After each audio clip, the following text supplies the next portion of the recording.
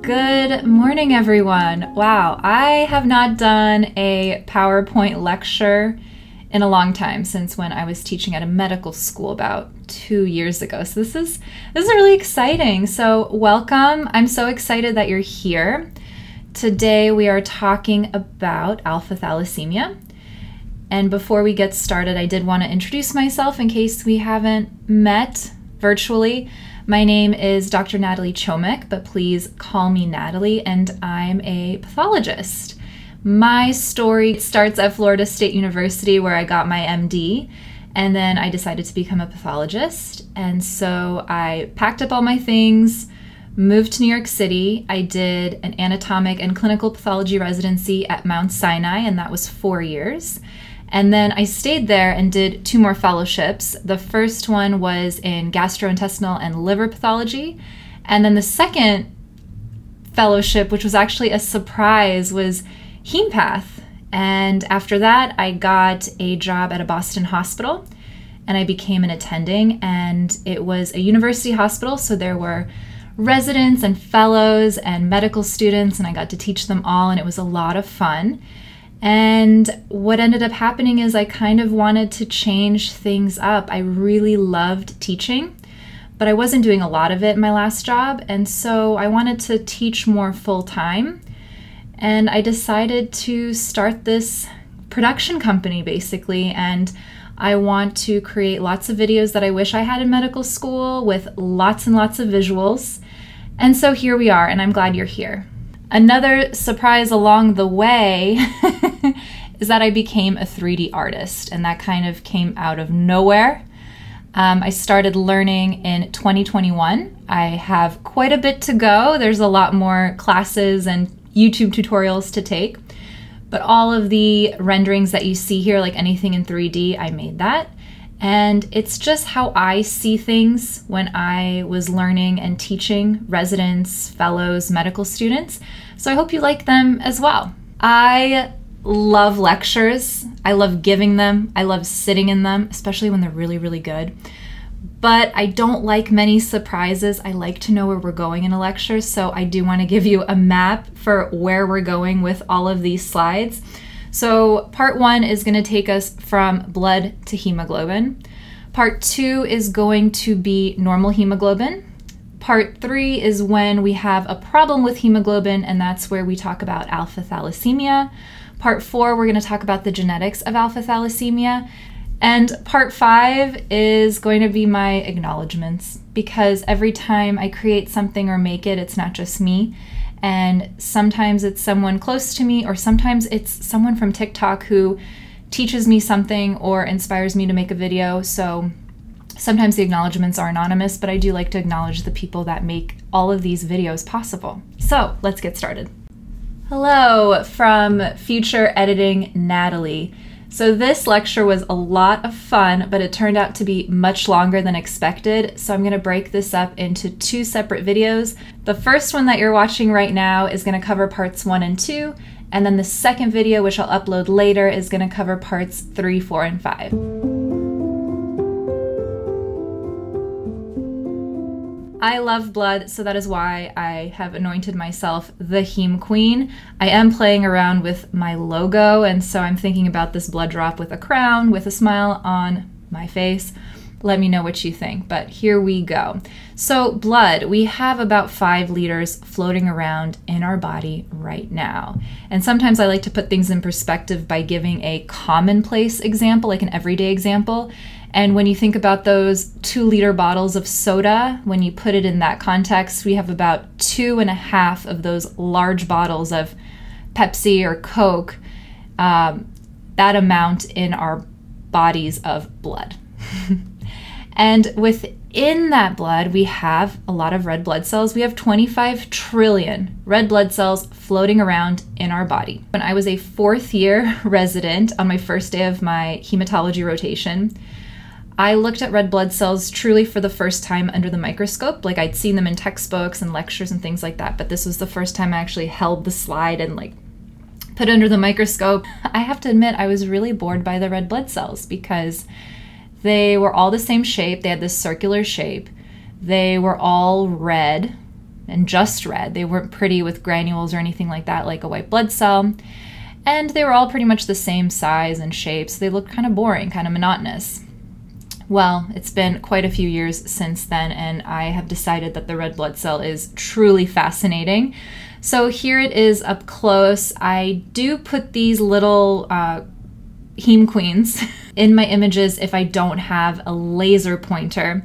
So if we look at the cell from the side, which is close to the left-hand side, our teal colored heme queen, you see that there's actually an indent in the center. So this red blood cell is disc shaped with smooth edges, but the center indents towards itself. So we have this biconcave disc shape. So it's not as boring as I thought it once was. And you can see this also on the um, near the gray heme queen. Um, you can see the indent happening.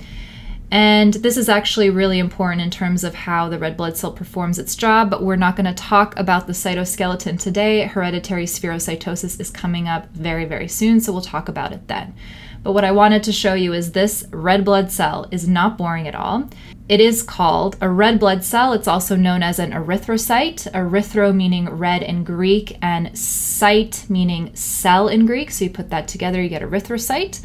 And sometimes you have them referred to as corpuscles or tiny bodies. So these red little bodies, these red corpuscles, these are quite fascinating, and we're going to focus on them here today.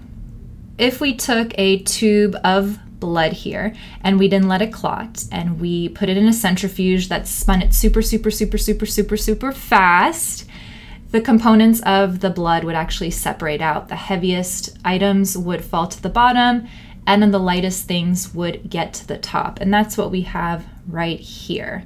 So at the bottom, we have our red blood cells. We have a lot of them, and they're packed to the bottom of this uh, test tube. In the middle, we have this buffy coat, and that's where our white blood cells and our platelets are. And then up at the top, we have this clearish yellowish plasma and that's going to be the lightest part of our blood. The bottom with our red blood cells that are totally packed and smushed together, that's known as our hematocrit. And as we go through this lecture, uh, I'm going to sprinkle in some lab values and lab tests for you. So the first one is already here, and this is the space that these red blood cells take up in this tube after you've spun it down. And this is given as a percent. For men, it's 41 to 50%. For women, it's 38 to 48%, but I like something a little simpler to remember, so I tend to remember 40 to 50%. The Buffy coat is 1%, and then plasma is about 55%. Suppose we take a very, very juicy drop of blood. Uh, by juicy, I mean 50 microliters. If we took 1 50th of that juicy drop, meaning 1 microliter, and we zoomed in on it and we measured all the red blood cells that were in there, we would get a number that is 5 million per microliter. So that is your next lab value, which is the red blood cell count, and this is automated, it's counted by a machine and it measures how many red blood cells in millions are there per microliter, meaning that 150th of that juicy droplet. Now, I remember 5 million because it's easy to remember, but we do have some um, more exact ranges. For men, we have 4.4 to 5.7 million red blood cells per microliter. And then for women, it's 3.9 to 5.1. And then the last thing, we talked about the number, we've talked about the shape, uh, we've talked about measuring red blood cells. So now it's time to talk about their color and what I once thought was a very boring color, but it's definitely not. Hemoglobin is what makes up red blood cells. A red blood cell is essentially 95% hemoglobin. If we wanted to think of it this way, the red blood cell is essentially a bag of hemoglobin. So here's what hemoglobin in my mind, in my renderings, looks like. We have hundreds of millions of hemoglobin molecules in a single cell. And that hemoglobin has the extraordinarily important job of picking up, carrying, and delivering oxygen throughout the body. So, what it does is when it's in a high oxygen area, let's say in the lungs, um, because the air we breathe is full of oxygen, that hemoglobin will grab that oxygen, hang on to it, and then eventually deliver it to all the other parts of the body that are away from the lungs. So the entire body is oxygenated thanks to hemoglobin. And hemoglobin is red, so the red hemoglobin is what makes red blood cells red, and then red blood cells are what make blood red. And if you remember the shape of the red blood cell with that that was a biconcave disc, that center is thinner than the edges, so less hemoglobin is going to be in that center area as compared to the edges, and so it makes this central area a bit more see-through. And you can see it right here, but when you're looking under the microscope and you're using a microscope that has light, that light is coming up from the bottom and it's white light. When you shine white light through this cell, it looks like this, and it also looks like this.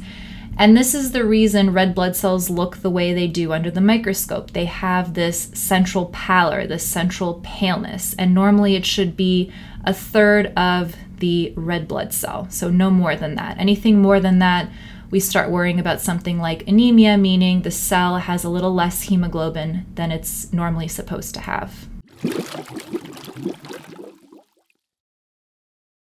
So now we're on part two, which is all about hemoglobin. And hemoglobin has this very, very important job of grabbing oxygen and letting it go. And if we break it down into its components, we can break we can actually break down the word hemoglobin. So we have heme, we have globin, and I like to think the O is maybe for oxygen in there. But we'll start with heme. The heme part has two parts to it. One is this porphyrin ring here, which I've rendered out as this purplish ring, and inside the center is this silverish iron, and these put together is heme. And you can find a heme on a globin. So hemoglobin is made up of four globins. Globins are proteins. If you Google uh, globins, you'll see that they're often depicted as these like kind of chains and things like that.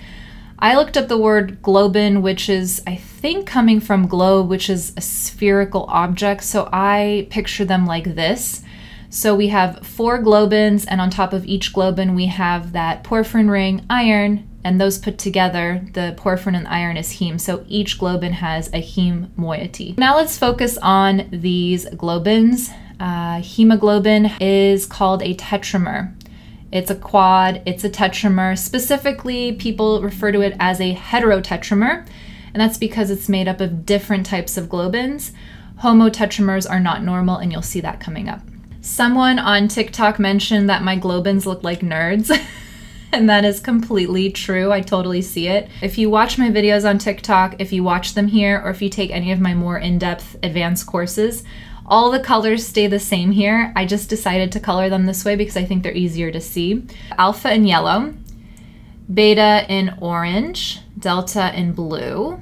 We have gamma in purple. We have epsilon in pink. We won't be talking a lot about epsilon or this next one, which is zeta. Those last two, epsilon and zeta, those are made for embryonic hemoglobins and we won't actually be talking about them today, but we can talk about them another time. By default, I think of these globins, they come as pairs, so they don't exist as single globins, they actually pair up. And then they like to pair up with different pairs, making them that heterotetramer. There are different types of globins forming this quad or tetramer. And then different combinations of these different globin pairs lead to different types of hemoglobins.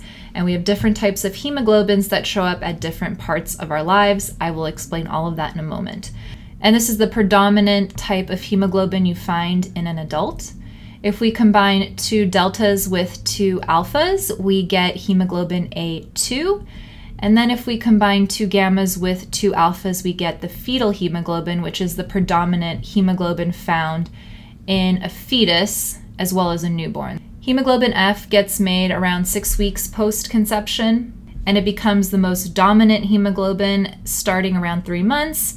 It's the most dominant hemoglobin at birth and until about two or four months, and then hemoglobin A takes over. So that by six months, when um, hemoglobin is considered to be in the adult stage, we have predominantly A over F. Now, there is a lot of coordination that has to happen because if we're making different types of hemoglobins at different parts of our lives, it requires certain things getting turned on at a certain time, and that's where genetics comes into play. So I'm just going to go over some normal genetics that go on in terms of making our globins. So we'll start with chromosome 16 here at the top. Chromosome 16, I made it look purplish here. We also need chromosome 11 for the other globins. So globins are made on these two chromosomes. And remember, we have pairs of chromosomes, so we have to make a pair here. We get one chromosome from dad and one chromosome from mom. And on each of these chromosomes, there are genes or spots or locations where you can find the recipe to make something specific in the body. So on chromosome 16, where you see our white globins, these are the zeta globins I've rendered out, there is one gene per chromosome that makes zeta globin. So since we've got two chromosomes, we have two genes. Further down, we have our alpha globin genes. So this is what makes our alpha globins, and we actually have two genes on each chromosome, so we have a total of four genes that are involved in making alpha globins. I'm going to move down to chromosome 11. We have epsilon down here, one gene per chromosome. Then we have two gammas on each chromosome, so that gives us a total of four gammas total. Next, we have one gene for delta on each chromosome, and then lastly, one for beta. And this is how they are arranged. And so let's start making some hemoglobins. Let's start with the fetus. The fetus, by definition, or a fetus, we're talking about nine weeks post conception all the way to birth. Now, fetal hemoglobin is the predominant hemoglobin that you will find in the fetus, and you start making that at around week six. And then you really crank it up so that by month three, it is the dominant hemoglobin that you'll find in the fetus. So let's make fetal hemoglobin to start. So the first thing is we're going to turn on the alpha globins that are going to stay on for the rest of our lives. So here we are making a lot of yellow alpha globins. And from chromosome 11, we're making a lot of gamma. Gamma is really turned on. And so these two come together and make our fetal hemoglobin, which is two alphas and two gammas. If you checked the hemoglobin of a newborn, they're to mostly have hemoglobin F, but that's to go down. And then at six months, we have a switch. We now make more hemoglobin A, the adult type, than we do F. So let me show you that switch here. Again, alpha globin is on, ready to go. And so now we've really cranked on beta globin. That beta globin gene has been turned on. We've also turned on the delta globin gene, and that one is going to be turned on after birth, and it's only turned on, I like to consider it slightly, we're not making that much of it. And then gamma globin is going to be turned on as well throughout the rest of our lives, but in a very, very small amount, just to give us a touch of fetal hemoglobin in our lives. So this is what is going on in adult. So if most of it's alpha globin that's being made and most of it's beta globin that's being made, we are going to make a lot of hemoglobin A, which is two alphas and two betas put together. Now, in addition, we have been making other other hemoglobins as well. So that delta globin is also going to pair up with some alpha globins and give us our hemoglobin A2 here with the two blue deltas that are paired with the two yellow alphas. And then that teeny bit of residual gamma that's always going to be on will mix with the alpha globins and give us that fetal hemoglobin now, but in a much lower concentration than is, than is in the fetus. And so here is what we end up with if we put it all together. We can actually measure this out with a test that I'm going to talk about in a bit. It's called hemoglobin electrophoresis. Here are our normal values. Hemoglobin A is going to be about 95 to 98% of the total hemoglobin. Hemoglobin A2 is going to be 2 to 3%, and then hemoglobin F is usually less than 1. And I, of course, I try to remember it in an easier way, so I think about 97, 2, and 1. 97% ish is hemoglobin A, 2% is A2, and then less than 1 is F. And hello again from the future, future editing Natalie here. Thank you so much for watching this video. If you like this video, please hit the like button and subscribe so you can catch parts 3, 4, and 5 in a separate video to come. And comment down below. I love reading comments, especially when you leave me topics that you'd like me to cover in the future It's your comments that inspire my next videos and let me know what people want me to cover next. And I will see you again soon for the second video.